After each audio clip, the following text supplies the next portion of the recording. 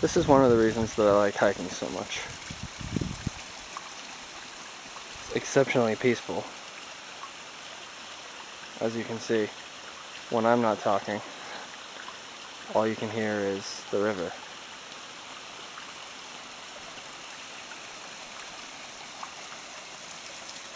But I also like it because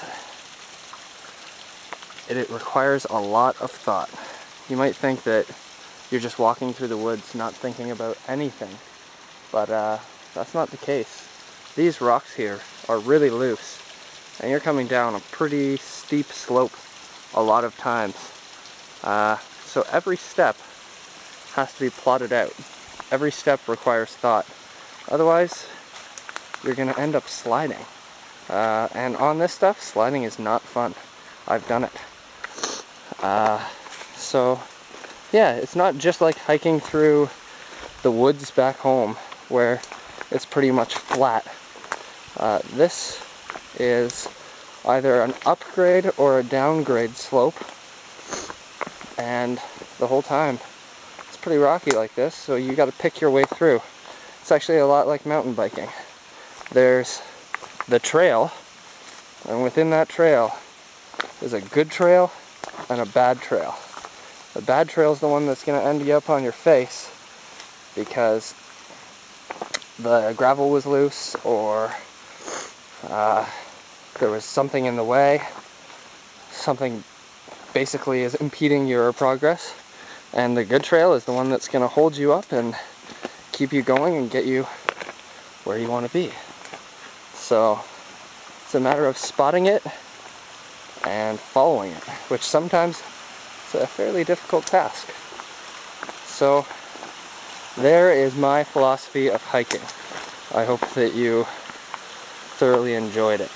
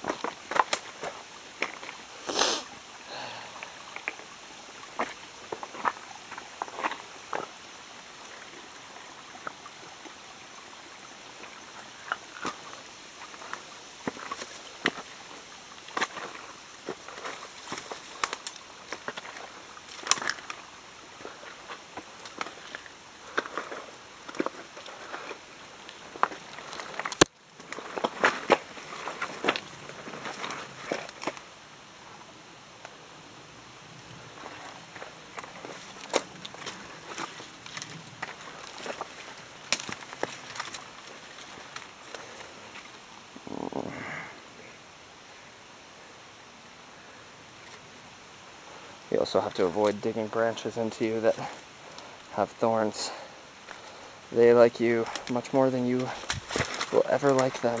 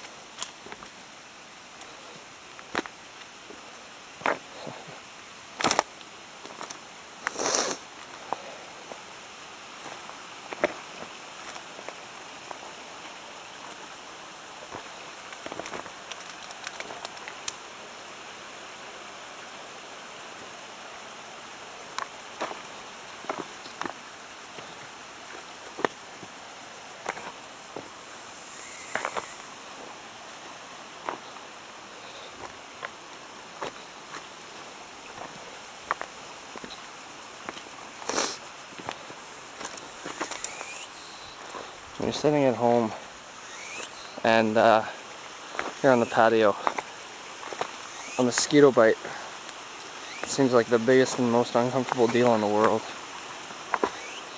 You swat at the mosquito as soon as it, as soon as you feel it. Out here, you could pretty much care less. I mean, obviously you want to be conscious of what is biting into you, but for the most part, there's constantly bushes hitting you and things like that. Oh, little lizard.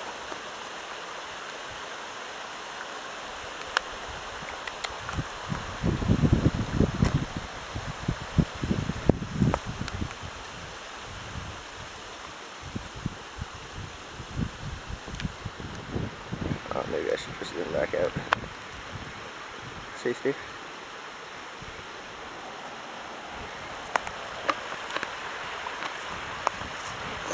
Uh, yeah, so mosquitoes. um, here you don't even know what's hitting you. And, uh, I mean, you come back, the last time that I went hiking, I came back and I noticed a lot of mud on my legs. Didn't know exactly what it was, so I started to wipe off the mud, and some of it really wasn't coming off.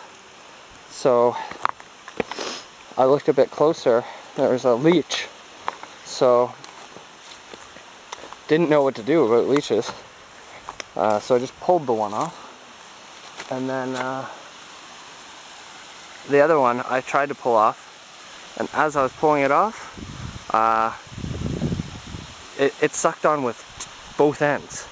So as I pulled one end off, and I'm trying to get the other end off, uh, the opposite end that I already pulled off trying to get me again. So that was pretty fun. And then when I got home to clean up a little bit more, I noticed when I took my sock off that there was another good hole in my leg under my sock because the one had been in there, got its fill, and then left.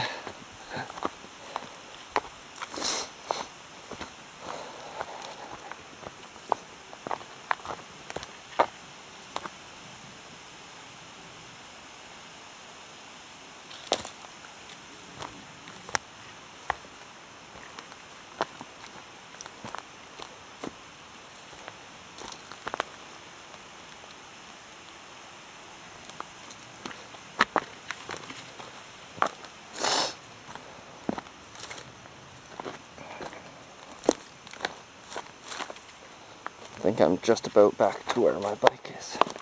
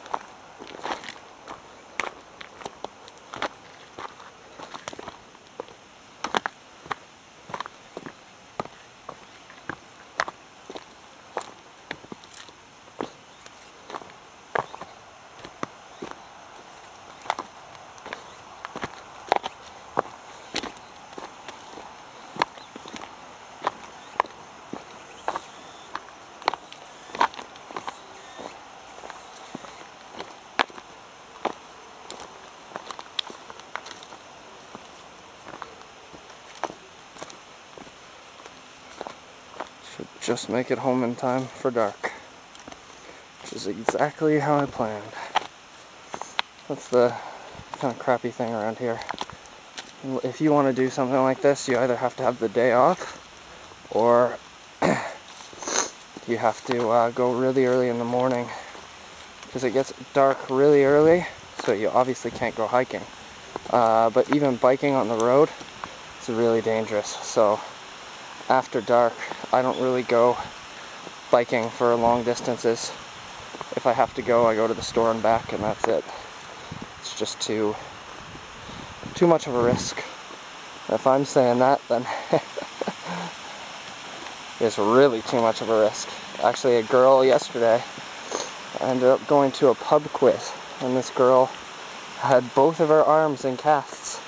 Um, She broke both of her elbows at once because uh, she was biking and bit it on her bike.